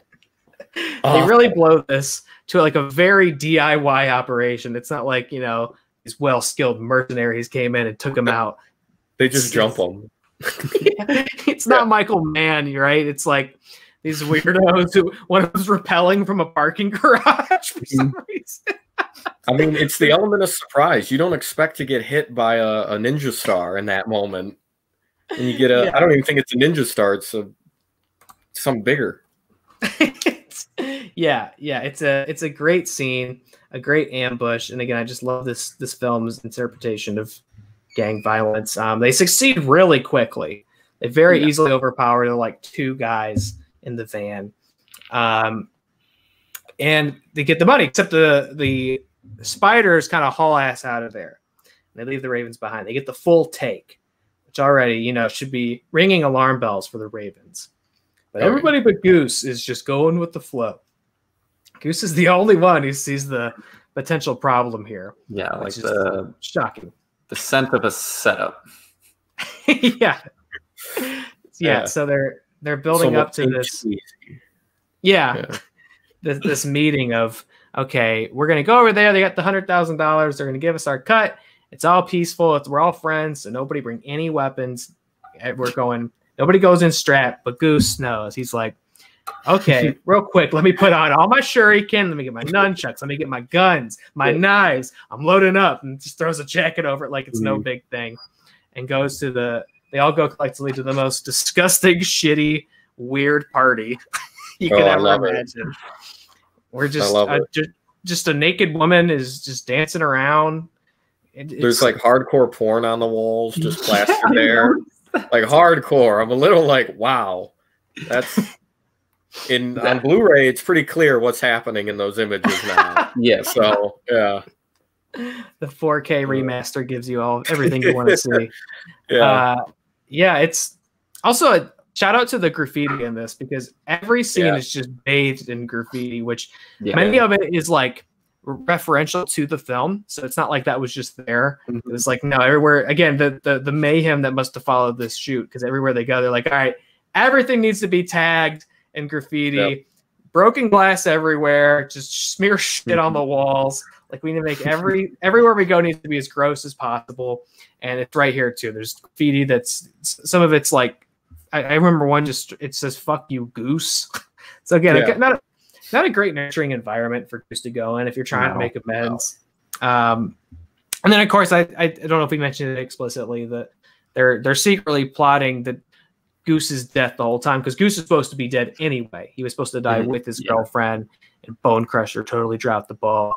He like didn't he didn't have his like calendar written out correctly and just completely miscalculated where he was going to be. yeah. And and like they don't realize Goose is still around till like it seems what reads to me like months later, where the leader's Yeah. like, "Oh, are you shitting me, Bone Crusher? You said you handled it. I trusted you, Bone Crusher." He assaults him, um, and that's where you, where you get Bone Crusher talking about like, "Oh, her her intestines look like snakes." Yeah. And, and even the leader of the spiders is like, "Oh my god." Yeah, no, even he's a bit taken back. Like you, ugh, you're enjoying this too much. Yeah, I might have to I cut you know. loose. I know it was my idea, and I sucker punched the woman I impregnated a few scenes ago. But you're this is unacceptable, Bone Crusher. Good lord, get your act together. we have morals. Damn it. Don't talk about Have some sort of yeah, have some sort of professionalism at least. Shit. um, so they made it this big kind of uh, truce meeting. Everything's going great. They're listening to fun music. Random girls just dancing around naked. There's like two burnouts on the ground having this like conversation about what would happen if you were invisible. Oh, yeah, because he because he repeats himself. He says like, and then you you drop acid, man, and then they cut back. He sa- It's like the same line reading. Yeah. yeah, Yeah, like, it's "All right, almost- so so I take acid. And he's like, No, it's like you took acid. Yeah, yeah, just just the perfect like two burnouts in the corner at a party conversation where it's just like there's no there's nothing coherent about it. You're Yeah, just and, like, and one of those guys ends up being like a, a get uh, getaway driver. oh, was he? I thought they Really? both get killed here. I, I thought they both ate it in the scene. Maybe it was before the party he was the getaway driver. When they- But when they I'm talking about ice. acid in the in the sunglasses. He's their mm-hmm. getaway driver, and I was just like, oh, that's a poor choice. like this dude just clearly not all there. His brain is Like, scrambled. get- like drive a car and get you to safety. Well, he's good at what he does. They do they do get away. You know, Yeah. they they get Yeah. away from the armored car heist. They leave behind all the people they don't like. It's pretty. It's a pretty big success on their part. Everything's going pretty well for the spiders except for Goose. They really are having trouble accounting for Goose still being around. Which, uh, by the way, I just love saying that name. Fucking Goose. Goose, what a killer. Goose. Uh, so the scene goes about as well as anybody could think. You know, everybody, all the Ravens show up without weapons. All right, cool. We're best friends. Give me the money. Nope. Just pulls the heel turn on him, throws the cigarette at him. Lock and load, boys, and everybody just starts firing. But Goose is ready. Mhm. He knows. He just. But he throws he, he he throws a knife into a guy's head. He goes full Yes. Rambo, right? because it's it's the guy shooting the machine gun. He knifes him in the head because then he does this epic fall off of giant pipe. Yeah. Meanwhile, all this you're just getting random shots of like limbs getting blown off and like necks Yeah. just gushing with blood. Uh, Yeah, it's so it's such a like visceral violence. It's it's it, it it's Mhm. it's perfect. it, it again, it's totally effective. Uh, Goose gets the fuck out of Dodge, if I recall correctly. Is this where is this where he goes to? Because he's because it's not like he gets out and that same day everything's resolved and like he kind of wanders off, right? Yeah. Go, that's when he goes Um, to the convenience store. Oh yeah, he, yes, he like gets through the like the toxic slush river, um, and then Yeah. Mm, makes his way to a like drive-through convenience store, um, never just, seen that. just to get some beer. Is that so? 7-Up. Yeah. Is that a is that an Ohio thing? Because I can think of a drive-through convenience store. Yeah, there's a lot. right now. Yeah, there's one like right down like there's plenty around here of just like drive-through convenience stores you can drive through, get you know alcohol, tea, whatever you want. Interesting. Yeah, I don't. I I I never thought about it before. If that was something that anyone else Yeah, did, I- but we it's a tradition we maintain to this day. Yeah. Yeah, I have never seen a drive-through convenience store in Michigan hmm. or any of the other states I've been to. So like, I always thought it was just some weird thing that like he had in his town. I didn't know that it was just That must be just Ohio thing, an. Ohio thing. That is Yeah. actually really cool. I didn't know that. way to go, guys. You did it. like like 50 years ago, some guy just decided like I want to get I want to get some chips and a beer, but I don't want to get out of my car. I don't want to get out of my car. You bring the cigarettes in here. I mean, The rest is history. it's a genius idea. I don't want to get out of my car. Yeah. It, love doing it really kind of kind of ahead of its time where you consider where we're at. Take the in the past convenience to a whole nother level. Yes. Yeah. keep keep great for social distancing. Yes. You know, Oh yeah. Yeah. the safest way to get um, Arizona green tea or or, Or or a a gigantic bag of of- combos. Yeah. a single can of Budweiser or, or a loose cigarette. One cigarette. Uh, Uh, the scene in this drive-through convenience store is amazing because it's Mhm. like to me it, it's it solidifies that it's not like oh the, the these guys live on the outskirts and like their world is crazy. It's like no, everybody in the world of this Everybody's a film is maniac. Even, everyone's even a the elderly. Get your gun, Grandma. Yeah, Oh. yeah. Go, go on, Connor. I know you've got it. I think. It's money. Look, it's a robbery! Give me your gun, Grandma.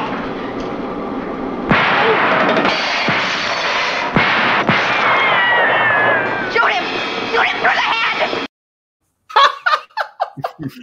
give me your gun, Grandma. Shoot him Uh. through the head. Uh, And also worth mentioning, you know, if you didn't see it uh, so quickly right there, is that Goose does not kill the, the man working the store. It's the dumbass in the car yeah. trying to shoot Goose is the one who ends up murdering the convenience store clerk. I Uh, just it's the that the movie has like that like almost a sense of humor with stuff like that. oh yeah, like- Like even at the end when there's the random road worker who just gets totaled too. Like this is just mindless destruction at Yeah, this point. everybody Like, woke up in Dayton on this day and chose violence. yeah, everybody. Everybody was like, "I'm probably gonna murder someone today." Yeah. yeah. Or if not be murdered. Whatever. I'm, I'm gonna be murder adjacent one way or another. Yeah, Whatever I gotta yeah. do, I'm gonna I'm gonna cash in on this thing everybody's doing. Um, yeah. So he he he flees the convenience store. Uh, I feel like there's one oh and that's when he makes the call. He's just on a real spree here. He makes a call to his girlfriend, uh, Christie's sister, hmm um, and does a very. As soon as he did this, I was like, "What are you doing?" He, this person he's never talked to before. uh, He's in the middle of being hunted down by murderers, and he's like, "I want c- come here, come here and t- meet me for the first time ever." And like a, on the outskirts of town. Bye. Like what? Are, I was like, "Goose, this is not." I know you're losing blood. I know you're stressed out. You're probably going through withdrawal, but you could have. You should have thought about this plan a little bit longer than come here come to where I'm at. Like, you go there if you have to. Why is, why is she coming here? Well, there's a manhunt Yeah. out for you, and grandma's even got the taste of blood. Like, shoot her through the head! like no one should ever come here. Are you out of your mind? No. But I mean, she But doesn't. it. She's just like, okay, I'll meet you there in one hour. No big deal. yeah, it's just, um, yeah, no idea who he is because she's estranged from her sister. Yeah. Yeah. It's like set up at the beginning where Chrissy was like, "Yeah, I haven't really talked to my sister in a very long time." Yeah. Since I ran away from home back a year and a half ago. Got it. Yeah, Sweet. so- Thank you. Yep. yeah. But she's willing to meet up with this random guy. No idea who he is. Hasn't talked to her sister in a while. Yeah, because I, I don't know if we mentioned that Goose gets away from the meeting with the full bag of cash. He gets all Yeah. one hundred thousand dollars in the in the burlap sack. You can almost see and he like the money won't sign pay for his things on it. seven up. That was one thing that bothered me. He's got that sack of cash, and he won't take out like a, a I don't know what pop cost in the '80s. Probably less than a buck. But, Yeah. Probably like twenty cents for a can of whatever he was drinking. I thought it was a beer, but maybe it was Seven Up. might have been a might have been a beer brand that I hadn't noticed, but I thought it was like a green red can, Oh, so I assumed like Seven Up. Yeah, it looked like a looked like a good old sody pop to me. You Oh, can't really good. see too deeply. Although, am I? I've watched a lot of stuff in the last day or so. Am I wrong, or is there like a lot of unintentional like Pepsi product placement in this? Did you see like a Um, Pepsi? there might have been. There, there was because like in the bar there were like Pepsi cups. I remember. Uh, yeah. And then in the uh, convenience store, like you're saying, there were Pepsi branded machines. I Yeah. think it's just like coincidental. You know, it's No, just again, Pepsi- they're just. I think PepsiCo cut him a check. Oh, Yeah, you think Pepsi so? was like, yes. And then they He- saw the movie, and then they said, "You're getting one drive-in theater for 30 years." yeah. yeah, yeah. They, they put that put that in the in the small print at the bottom of the contract. Yeah. Um, so yeah, he, he calls her out. They come meet him because that's his, his grandmaster plan. Is I'm gonna at least to honor my dead ex girlfriend's uh, memory, I can give her sister the cash so she can ride off into the sunset. Um, Mhm. But very terribly uh, plans this out. Has her coming into basically exactly where he's being hunted down, and so the two the two things coincide. Um, I think he he faces off with Bone Crusher first, though, right? Bone Crusher. Yeah. Because It's on the top of the roof. Yes. Yeah. amazing battle scene and an amazing death scene. Yes. Uh, because Bone Crusher, you know, he's not the architect of everything that's happened here. But he's definitely the the means to which all this. Mhm. It's Waffles is really meowing up a storm over there. Is that Waffles? Let's go, bud. Dude is yeah, just just bring him yelling at me. No. He just Bring him in. He just hear what he thought of fucking- bossed up into this room, screaming at me. Fucking mammoth. There he is. Uh, we, we love There, you need What a guy. man. All right. our thick king. We'd love to see him. official mascot. Basically, he just kind of wiggle his way into more more episodes than Yeah. not. Um, you know, you're born to be a star. It's just truth. Bone Crusher gets his head blasted off by a car. Do I remember this correctly?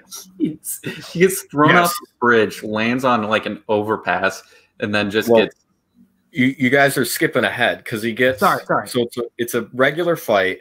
Then it's a uh, throwing star to the head, oh yeah. and then it sticks out of his head as he continues to fight. And then Goose takes his head and smashes it a solid like twelve times against the concrete wall, and blood starts to dri- trickle out of the back of his head. Then he gets thrown off the bridge. then he gets run over and decapitated. The escalation. The, the, Yeah. the punishment fits the crime. This is the way you want to see a villain die in a movie. No, it, it is. You want to just it. It's it's a cartoon. How much it keeps Yeah. going, yeah. and you want that. Yeah, especially by that point in the movie, you're already strapped in, and it it has you. It, it's very cathartic to see him going this way because Bone Crusher, again, not a not a character with a lot of nuance to him.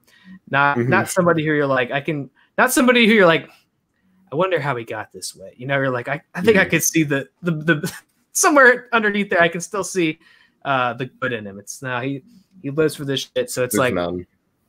you'd love to see him get shurikened, thrown off a roof, and decapitated by a car. That's how Yes. the, the punishment fits the crime, you know. Totally. Goose is awful, but he at least has a couple of redeeming moments, and like he he does like make a few decisions that show okay he cares a little bit more. Like the topless dancing girl, like before everything goes to shit, he's like, "Hey, get the fuck out," you know. yeah, because of So, I'm like, that's, that's a nice thing that he did. Yeah. Yeah. like I'm about to start stabbing people to death. You might want to leave. yeah, I don't think you want any part of this lady. Um, yeah, he takes care of Bone Crusher, but the the head, the head of the gang is still out here. And this is right about when Christie's sister decides to just conveniently drive drive through. Never Mhm. never um never meet family and plan a gang fight in the same location. You want to keep those two things separate whenever you can. Yeah. I guess Goose maybe just knows. He's like, I'm not gonna make it out of this alive. I can't really guarantee I can I can make any follow-up appointments to this day. So I Mhm. just kind of need to consolidate them right here. Uh, for sake of ease, get every get Yeah. everything in one place. Um, This is his ultimatum. He's got no other choice. Yeah. Yeah, yeah, but but uh, still immediately proves to be a bad idea because her car gets hijacked by. uh I can't. I wish I could remember the. name. This is the thing. You Damn. need a good gang name. You need to be Goose or Bone Crusher. I won't Mhm. remember your name. Um, Shut Danny. It is Danny. Okay, I think thank you. so. And that's an interesting choice too, where you're like, I'm not going to pick a name. I'm just going to be Danny, and like you're gonna you're gonna respect me so much that I don't even have to think of a pseudonym. You're just like, Danny, don't fuck around. You know, we don't even hear what Goose is real. For all intents and purposes, Goose Goose's name is Goose. Yeah. I It's on maybe it was maybe I misheard something, but I thought at one point someone called Goose Kevin. Oh, So I don't know if that I don't know if that was like some slip up or if I misheard something, but I I th- could have sworn a gang member called him Kevin at one point.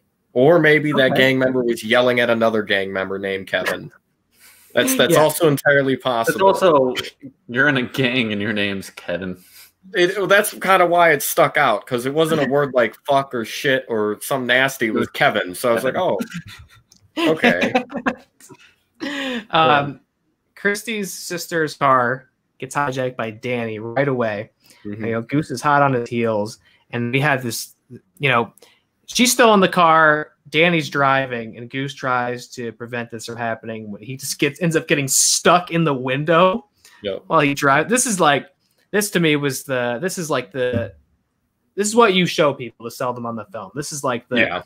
the true culmination. This is the the big the big main event that you're building up to. Like, what an amazing stunt and way to end this film with him just hanging goes out of the fucking car. And he goes through like an alleyway and like Yeah. skins his Trying arm. And while this is happening, it cuts back into the car, and Christy is just, or Christy's sister is just punching Danny in the fucking sack. I was yelling. It just cuts it just like on the floor of the car, just repeatedly Yeah. punching Danny right in the balls. Uh, It's just it's mayhem. It's just fucking and there's but there's Mm-hmm. an art form in that to be Yeah. able to so oh yeah. succinctly capture that chaos and film it and cut it in a way that you can watch it and comprehend it. Mhm. All There the is moving an art form in in nut punching. Yeah. Absolutely. Because There because it's you're cutting in the car again. She's she's giving him the big sack tap in there. Meanwhile, Goose is hanging out of the car. They drive down an alley, and he's just he's getting scraped up against the brick wall. You just Yeah. see his arm get that. That was again like oh my, and it made me go like man, I never really seen it anything like that before. Yeah. Which is Mhm. which is rare for me to say, but I find myself continuously saying it on this new incarnation of the show where I'm constantly seeing things I haven't seen before. So I love I love that we're coming to these films for the first time.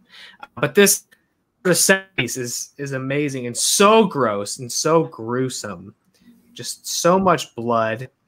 Uh, they, they, they the car finally crashes and and Christie's she must have a name too. Chris uh, I don't know. I, I don't I have think, it it. I think it started with I think it's Stacy. Started with an S.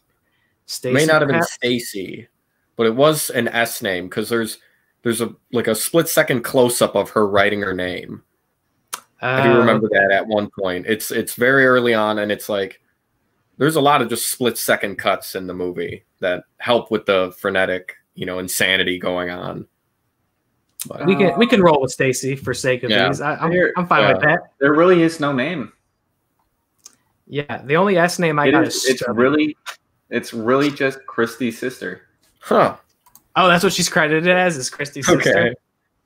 I guess we're correcting that then. I mean, let me Um, so I Christy's trying to add a sister, name. it's, Christy's sister gets out of the car, and now this is it, the final showdown, the confrontation between Goose Mhm. and Danny. And oh my god, this is because because one would expect like after all this, you know, Goose just gets the upper hand and it's a done deal, but Goose gets Nope. rocked in the scene. Yeah. Oh my god. Um, not only does he get his arm all torn up, but then he gets um when he gets stabbed. Yeah, that oh. that's a wince moment for me Yeah. because again, it's like in movies they always portray a stab as like a very easy thing, but I'm always every time I see it, I'm like, again, never been stabbed.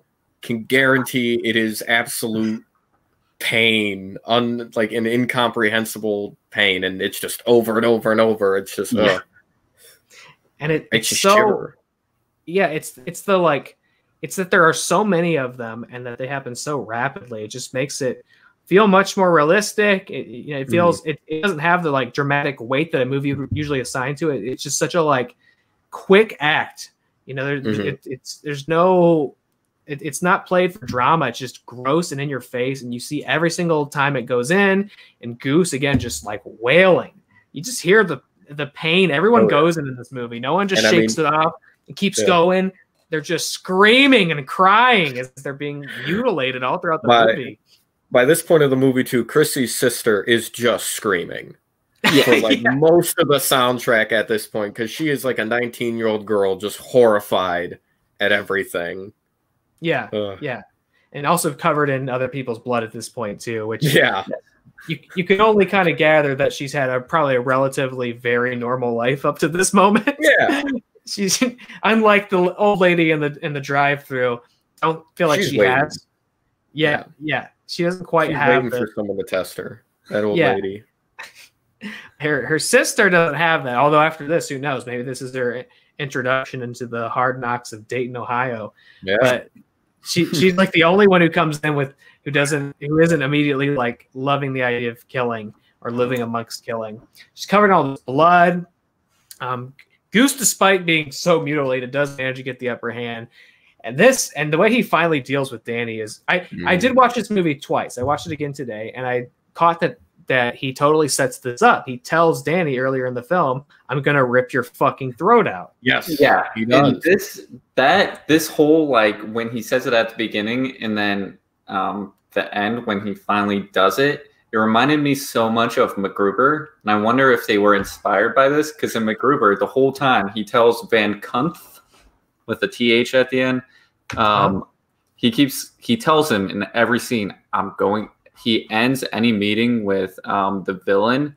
I'm going to rip your fucking throat out. He's like, and I'm gonna rip your fucking throat out and then like it it goes on for the whole hour and a half and then at the end he finally rips the throat out and he says it like 20 times he's like i'm gonna rip your fucking throat out And uh, and what does Goose do in this in this scene, Connor? I don't know let's go ahead and take a look Content warning: It's about to get gruesome.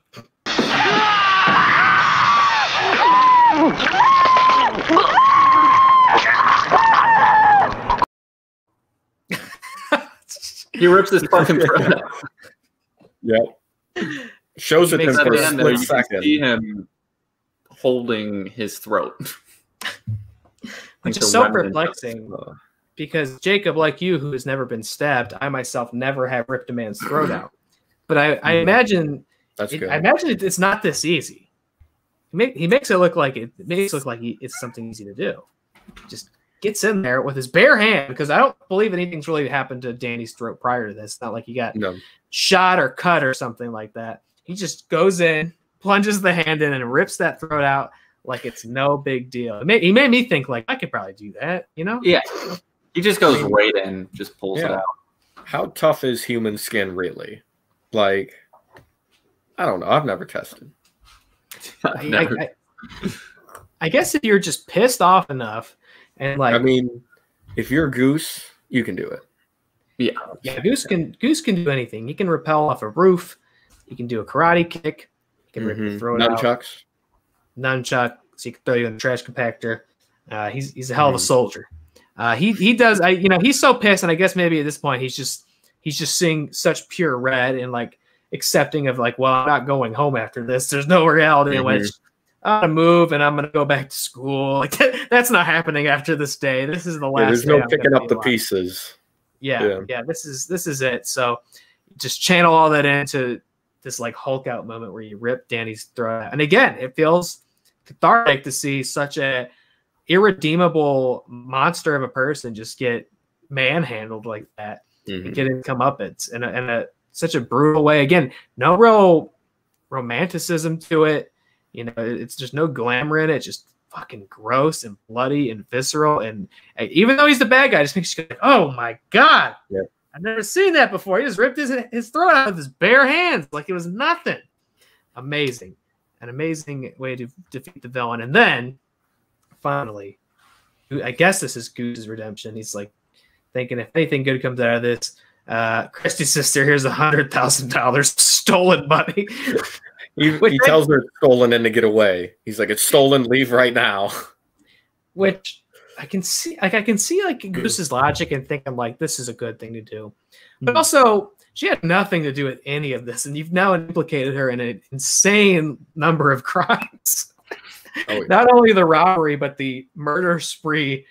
Dozens of dead people that surround it. It's covered in blood. She's covered in blood. Her car's left at the scene of the crime. It's totaled. It's covered in blood. There's two dead guys next to it. It's like I just don't know that this film ends with her run running all the way home and like never having to work again in her life because she puts all that money in the bank. It's I don't know. I don't know, Goose. if this if this ended how you thought it did, but I guess he gets to die with some uh, some peace.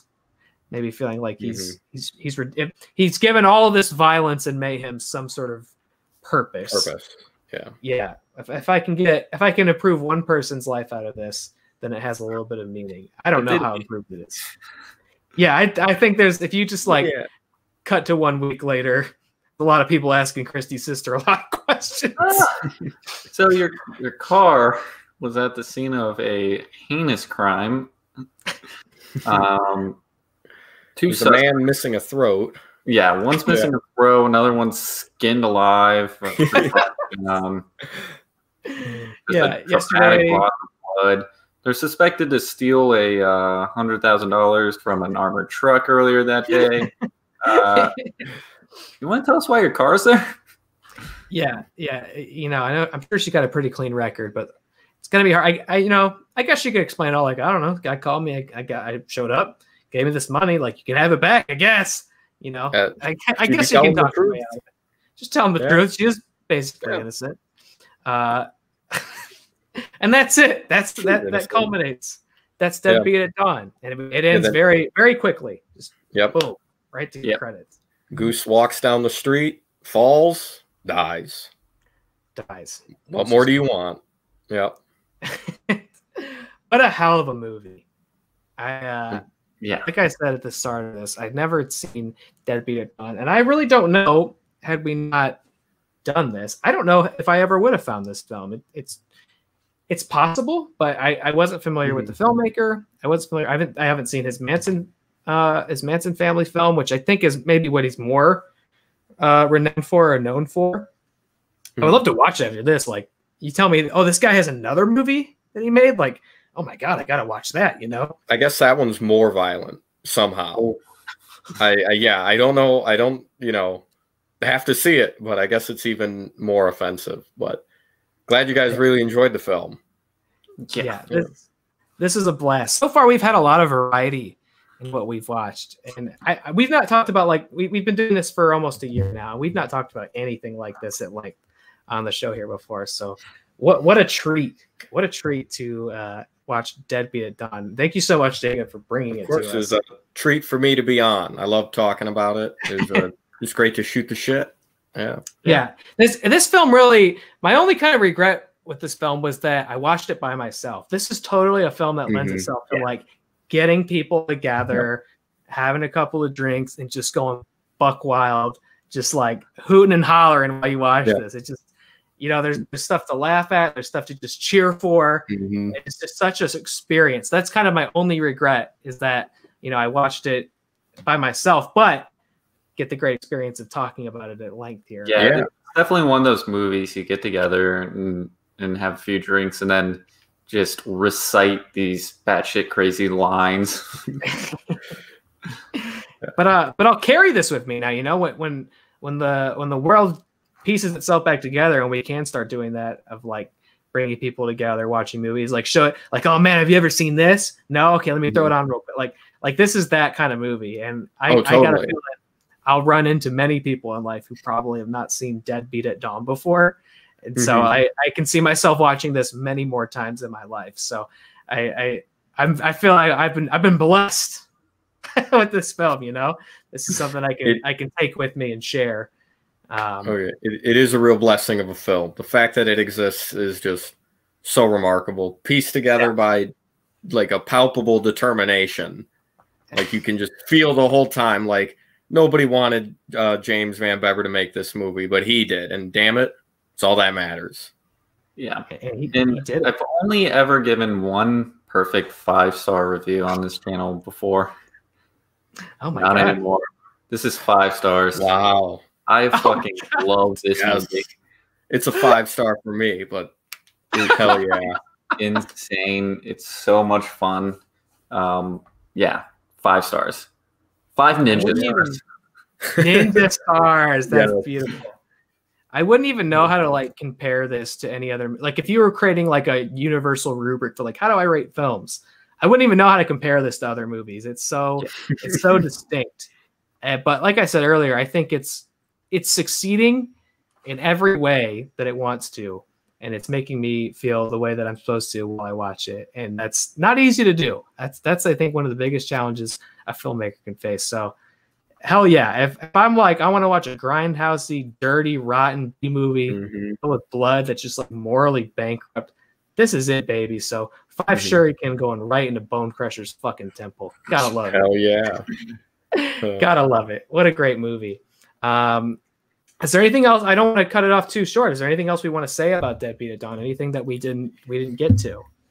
Um, I mean, we went through the whole thing. I feel pretty good about it. I'm just looking through if I got anything else. Okay, I wanted to bring this up actually real quick. The Yeah. tagline of the movie makes no sense. Have you have you like read what it is? It Yeah, goes he, he quit the gangs, they killed his girl, so he became deadbeat at dawn. I'm like, I'm not, I don't get what that means. like, how do you become deadbeat at dawn? 'Cause he already, Like, what? he was already deadbeat. Yeah, exactly. And like, what's the at dawn of it? Like, Yeah, they never really. I, I just assumed it's like dead by morning. Like, that's kind of what that means. Like, you'll be dead by the AM. But for the tagline, it just makes no effing sense. Hopefully, my Yeah, dog doesn't. He's barking his head off. It's all right. As, as you've surely discovered, pets make cameos on this. It, it, Oh, it's, yeah. it's it's the nature of this kind of thing. Um, Yeah. yeah, no, you're, that's a great point because it's not like he's got his shit together in a big way, and then his girlfriend dies, and it's like, oh, I gotta drop everything and hit rock bottom and become Mm-hmm. a monster. It's like, no, he's kind of doing his thing, start to finish. Yeah, he was already there. Yeah. Deadbeat just- forever. It, it's one of those where I can just see because, like, you know, taglines are normally made by not the filmmaker. So I could just see it. Some guy, advertiser, didn't see the movie, just like, ah, just slap this on there. Yeah. It's called what? I don't know. He became Yeah, exactly. Dawn. I'm sure that makes sense. like, I'm Watch not watching it. Watch it. What are you fucking crazy?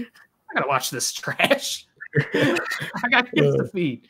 Uh, yeah, no, this this film's wonderful. I can't recommend it enough. You know, obviously, I, I think I'll- I'm always prefacing stuff with like, uh, oh, it, it's not for everybody, but at the same time, anybody who would want to listen to this show, I feel like it's got to be for you. Like, I can't Oh, yeah. imagine you're like, yeah, I don't vibe with that. No, it's it's gross, it's dirty, uh, it, it's it's raw, it's unapologetic and like morally bankrupt. And if that sounds like Mhm. something you can you can you can hide inside for an hour and 20 minutes, uh, this is the film for you. So go check it out on Shudder or to or get the the Arrow release, the Blu-ray, because I think it I think they did do like truly like a 4K remaster, right? Yeah. Uh, 2K. It just says 2K. here brand new 2K restoration approved by Van Bebber himself. So they probably had to ask him for the negatives. Yeah. Right, yeah. Yeah. Gotta get him out of the garage and send him over. Yeah. Uh, yeah, great, great. Yeah. Love it. Love Arrow, dude. Doing doing God's work, bringing these Oh, movies yeah. back to people who would never see them otherwise. So, go find a copy one way or another. Um, we we definitely recommend it. I'm Reely Scared. Um, next week, don't forget we're coming back, of course, live Thursday night for our final show of January. We'll be talking about House on Haunted Hill on the 28th, the uh, William Castle classic starring Vincent Price uh, with horror writer and critic Angela Benson. Can't wait to have her on. This will be the first film of the month where I'm like, yeah, I've seen that before. So I- I'm excited to come back to it and talk about it length because, again, a, a legendary film. A lot of And a lot of uh, legacy coming with that. So hopefully we can do Yeah. it justice. Can't wait to have Angela on, talk about that. Um, and of course, we'll also be unveiling our February calendar. Uh, we've been working on that. special. It's a banger. Yeah, we got four more movies to talk about and a lot of amazing guests. I can't wait to uh I can't wait to announce that. We've got a lot of great stuff coming up in February. Love it. Um, Jacob, once again, thank you so much for joining us on the show. Of course. tonight. Thank you guys. Uh, Had a ton of fun. You, could you tell all the great ghouls and goblins out there where they can find you and where they can find your film one more time? Yeah, so you can find me on Instagram at Horn Jacob and at uh, Twitter at Horn Jacob One. There's a digit at the end, and then I would much rather prefer if you follow Neutrals, which is my short film, at Neutrals Film on Instagram and uh, Facebook. Get all the details about where to see the movie. I mean, I, I don't think I'm going out on a limb saying if you like Deadbeat at Dawn, you would also probably enjoy Neutrals. There's Yeah. a lot of similarities in it with the the vulgarity of language and you know tone and kind of dirtiness. So yeah, at Neutrals Film, uh, and at Horn Jacob. So thanks again, guys. Wonderful. Thank Thank, you. Thank you for joining us. Thank you for exposing us to Deadbeat at Dawn. I'm glad. The more, the better. Absolutely. Yes, there are dozens of us. Um, thank you to everybody who watched tonight, or if you listen after the Mhm. fact, thank you so much for tuning in. Um, make sure you, you follow us on the on the Twitches and the YouTubes and the Facebooks and such. Uh, leave us a little cute review. Leave us a little cutie. Uh, thank you so much for tuning in tonight. We'll see you next week for House on Haunted Hill. Good night, guys. Have a good one. Stay spooky. See you.